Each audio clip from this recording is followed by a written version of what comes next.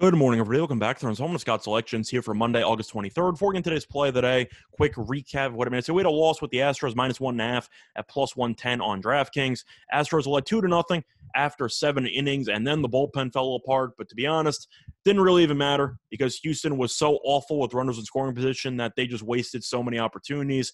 Houston went three for 16 by game's end with guys on in scoring position. So that kind of just sums up the game there. Houston forced Anderson into a lot of difficult spots, even the bullpen into a couple difficult spots, and yet they constantly just stranded runners, and that was the story of the game. But either way, I still love the value at plus 110, and unfortunately, it did not work out. But look for a bounce back winner here on Monday. We're looking at preseason football in the only game on the card, a Monday night game between the Jaguars and the Saints. And for the play of the day, we'll be looking at the first half, and we like the Saints first half minus three at minus 110 on DraftKings, time recording of 137 a.m. Eastern Time. Covering why I like the Saints in this spot. First of all, looking at the first preseason game for both teams, New Orleans looks significantly better.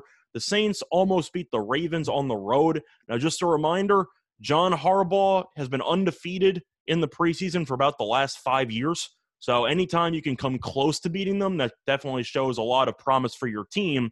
But the Saints lost by three on the road despite having six turnovers. So, they played it terribly and yet still hung tough. And I think at home, they should look a lot sharper offensively with the ball security. Meanwhile, Jacksonville played at home against the Browns, who were benching basically everybody.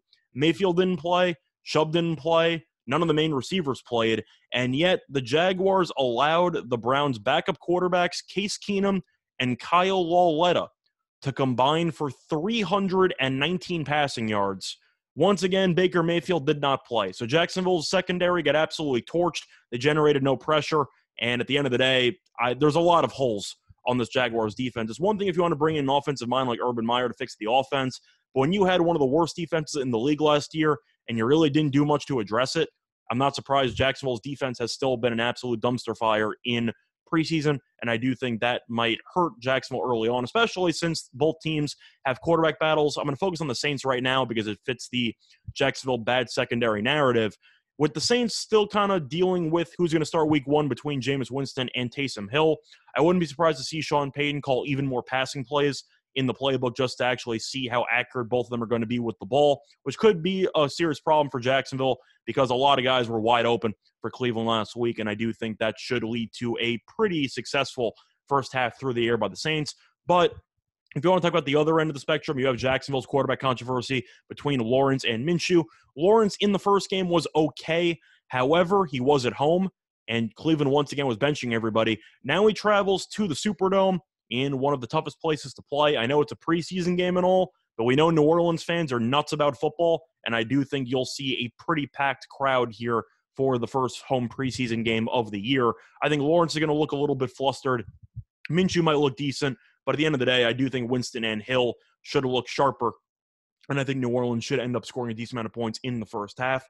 Plus, if you want to actually talk about the fact that New Orleans does have the very big home field advantage, which I already alluded to. I do think that might help ease some nerves maybe between Winston and Hill that you might have seen in the first preseason game.